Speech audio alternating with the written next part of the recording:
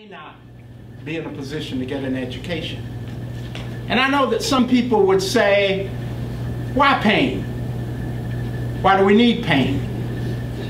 What difference does it make? Well, it makes a great difference.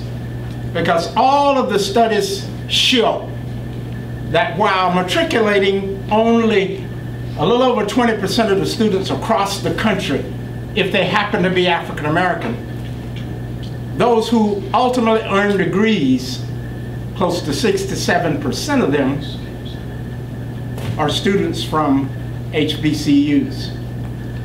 And it's my notion that the CSRA could be and could challenge the Atlanta area as a mecca for higher education and in fact education in general.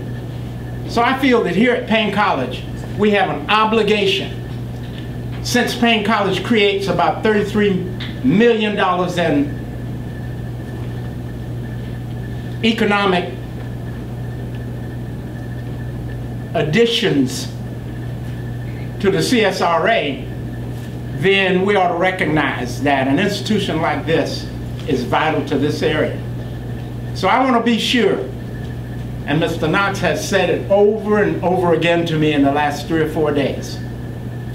It's not about me, it's about Paine and what we can do collectively, meaning when we collaborate with the city, Mayor Davis, with the commissioners, with all the other entities of the city, we can change the perception of the Augusta area when it comes to education because all of its citizens ought to have an opportunity for an education. So it's important that institutions like Paine College exist in such a way.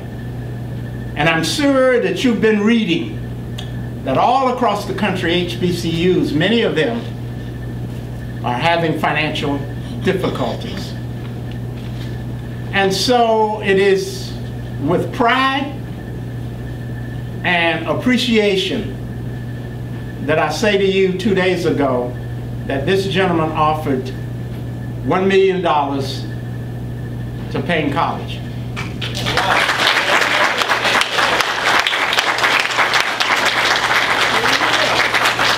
And let me say that in this context, because he wanted me to make sure that the Augusta and the CSRA really understand uh, the additions to that donation.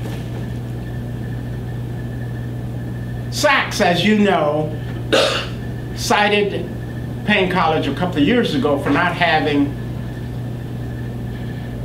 an audit report that indicated that it could sustain itself over a long period of time in its financial condition.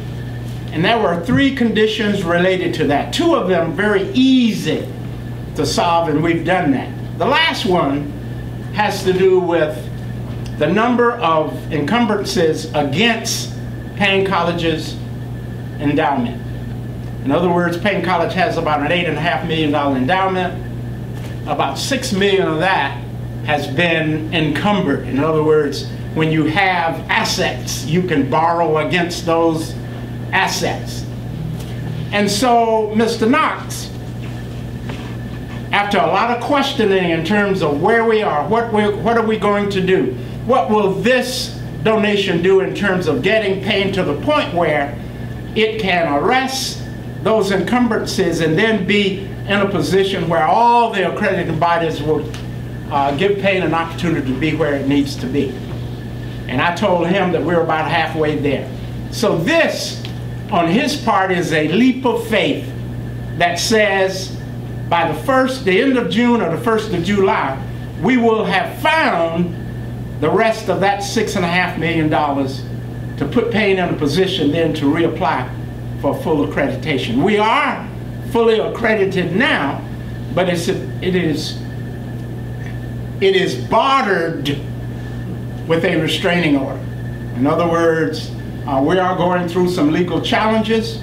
We are fully accredited, but this obviously helps us to get where we need to be.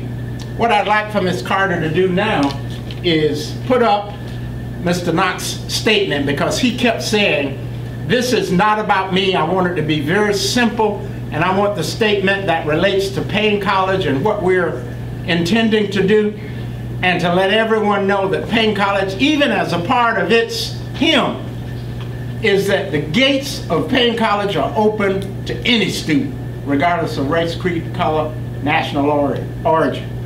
And so Paine has never been an institution that has denied admission to anyone based on those demographics graphics, or characteristics that the person can't control. I sent uh, Dr. Hardee text, and I was hoping to have this screenshot, right? I'm sure you can read it. Projected up on the screen, right? You've seen it, you know, just a big screenshot with the little, the little, you know, what is that little tail that comes off? Uh, anyway, I'll read it aloud um, uh, just to uh, yes. Let you know what I sent to Dr. Hardee about today. And I said, let's make it about Paine and Paine's rich, lengthy history in Augusta. About Augusta being a college town and the strength of having more, not fewer, centers for learning and growth about building bridges in town, figuratively, building bridges, about our youth, about love and respect. So, not about, you know, I'm grateful to be able to give a gift. I would like to ask uh, the mayor to get up here, too, because I consider him,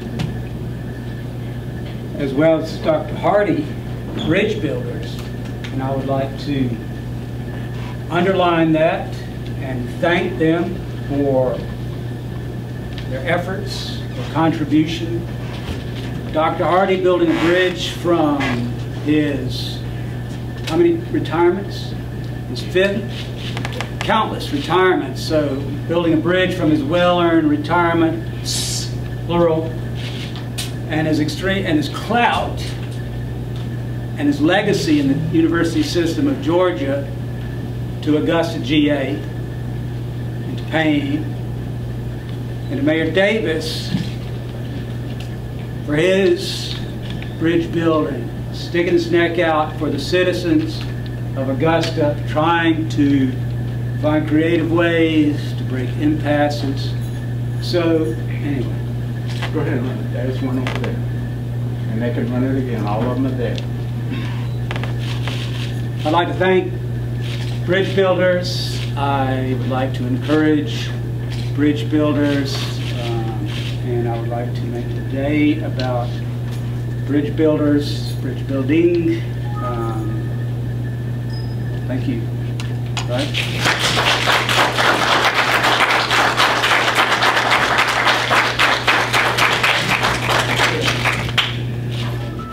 This is what community is about. And I'm pleased to be a part of this. Commissioner Fennoy, who's also a Paineite.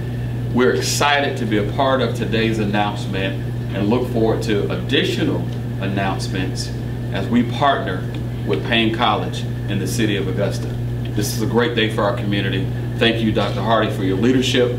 Thank you, Peter, for your gift. And thank you, the community, for continuing to stand with Paine College and the fine students who are here in attendance as well, who are matriculating through these halls of higher learning, that they too will pass this along to future generations. Thank you and God bless you.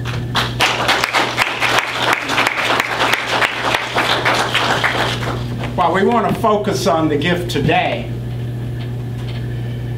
a residence hall every year for the next three years, revitalizing that section along Laney Walker Boulevard and turning the warehouses into uh, an outlet that will generate funds for Paine College, and we can talk about those later. But today, we honor, and he told me not to use that term, but we honor Peter Knox for what he has done for Paine College. We're ready for questions.